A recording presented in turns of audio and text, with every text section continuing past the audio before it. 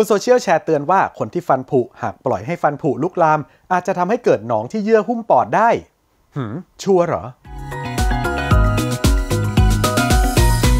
เรื่องนี้ถ้าจริงก็น่าตกใจและควรรีบบอกเตือนกันครับ แต่ก่อนจะแชร์ต่อต้องเช็คให้ถูกชัวร์ศูนย์ชัวร์ก่อนแชร์สำนักข่าวไทย อสมท สอบถามกับอาจารย์ทันตแพทย์ผู้เชี่ยวชาญ ด้านศัลยศาสตร์ช่องปากและ maxillofacial ที่คณะทันตแพทยศาสตร์จุฬาลงกรณ์มหาวิทยาลัยครับ ฟันผุทำให้เกิดหนองที่เยื่อหุ้มปอดได้จริงเหรอครับ จริงครับ กลุ่มผู้ป่วยที่ปล่อยให้ฟันผุลุกลาม จนเกิดเป็นการติดเชื้อบริเวณขากรรไกรและใบหน้า และมีการลุกลามต่อไปถึงช่องเยื่อหุ้มปอดได้ครับฟันผุนะครับหลาย ๆ คนอาจจะมองเป็นเรื่องเล็กแต่จริง ๆ แล้วถ้าเราละเลยหรือปล่อยให้มันลุกลามไปใหญ่โตเนี่ยก็อาจจะทำให้ถึงขั้นเสียชีวิตได้ เพราะฉะนั้นเราสามารถป้องกันได้ครับมาตรวจติดตามการรักษากันอย่างเหมาะสมดีกว่าครับ ทำไมเกิดอาการที่ฟันผุ แต่ลามไปติดเชื้อถึงในปอดได้ล่ะครับ ปกติแล้วฟันผุนะครับ ถ้าเราปล่อยไว้จนลุกลามเนี่ยอาจจะเกิดการติดเชื้อบริเวณขากรรไกรและใบหน้าได้ ซึ่งจะทำให้มีการเกิดเป็นหนองเนี่ยแล้วสามารถจะมีช่องเชื่อมต่อจากบริเวณขากรรไกรลงไปบริเวณคอ และบริเวณช่องอกตามลำดับได้ครับก็จะทำให้หนองเนี่ยมันสามารถลุกลามลงไปบริเวณในช่องอกได้ ฟันผุที่ทะลุโพรงประสาทก็จะสามารถทำให้เกิดเป็นหนองบริเวณปลายราก แล้วก็ลุกลามต่อออกไป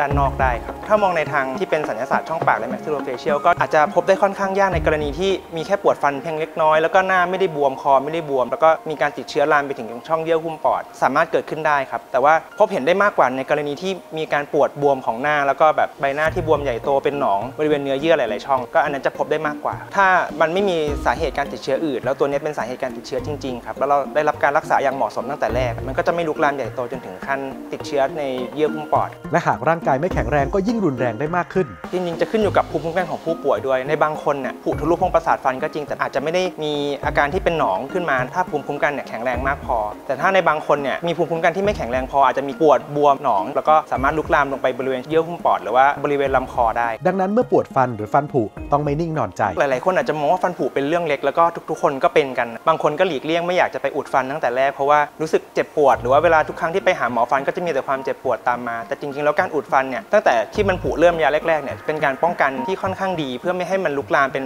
ภาวะแทรกซ้อนที่ใหญ่โตได้ครับหรือจริง ๆ แล้วเนี่ยถ้าจะให้ดีที่สุดก็ควรจะไปตรวจติดตามการรักษาเรื่อยๆครับเช่นอย่างอาจจะเป็นการตรวจฟันปีละครั้งหรือ 2 ครั้ง เพื่อเป็นการตรวจเช็คดูว่าฟันเนี่ยมีปัญหาอะไรหรือเปล่าเราจะสามารถรักษาได้ตั้งแต่ยังไม่ได้ก่อปัญหารุนแรงครับยิ่งรักษาเร็วก็ยิ่งลดโอกาสมีปัญหาใหญ่ ฟันผุเนี่ยถ้าเราทิ้งไว้นานๆ ก็อาจจะมีการติดเชื้อเพิ่มมากขึ้น แล้วก็สามารถบวมเป็นหนองได้อย่างที่บอก การที่บวมเป็นหนองเนี่ยอาจจะบวมแค่เล็กๆก็ได้นะครับหรือว่าจะบวมใหญ่โตมากขึ้นก็ได้ ซึ่งภาวะแทรกซ้อนที่รุนแรงเนี่ยก็จะมีการอุดกั้นของทางเดินหายใจ หรือว่ามีการติดเชื้อในกระแสเลือดทำให้ถึงขั้นเสียชีวิตได้ครับจริงๆแล้วหลายๆคนอาจจะเข้าใจผิดครับแบบว่าจะต้องรอให้มีอาการปวด หรือว่ารอให้มีอาการต่างๆ ก่อนถึงจะไปทำซึ่งจริงๆแล้วในทางการทันตแพทย์มักจะเป็นอาการที่ค่อนข้างช้าไปแล้วจริงๆแล้วเราไปตรวจติดตามการรักษาก่อนเพื่อจะได้ประเมินก่อนได้ครับว่าเรามีการรักษาอะไรที่มันสามารถจัดการได้หรือเปล่า เช่นการอุดฟันหรือว่าการทำอะไรที่มันง่ายๆ โดยที่เสียค่าใช้จ่ายไม่เยอะมาก เพราะว่าเมื่อเราปล่อยให้มันลุกลามจนเป็นปัญหาใหญ่โตแล้วเนี่ยครับคือเราจะเสียทั้งเงินทองที่มากขึ้น แล้วก็ต้องรับการรักษาที่มีความเจ็บปวดเยอะขึ้นด้วยครับและยิ่งกว่านั้นคือ